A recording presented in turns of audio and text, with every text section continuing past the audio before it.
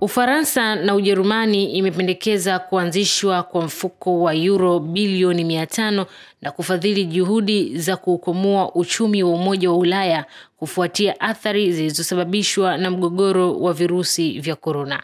Nchi hizo mbili zimeweka kando tofauti zao za zamani na kutaka kuonyesha ushirikiano baina yao.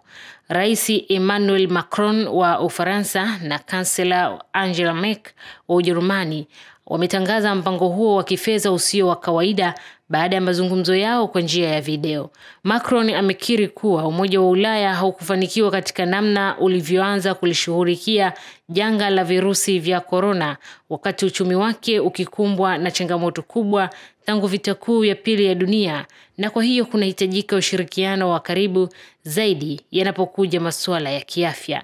Taarifa yao imesema fedha hizo zitakazotolewa kupitia ufadhili wa mikopo kwa niaba ya Umoja wa Ulaya zitapelekwa kwenye sekta ya maeneo ya umoja huo yaliyoathirika pakubwa.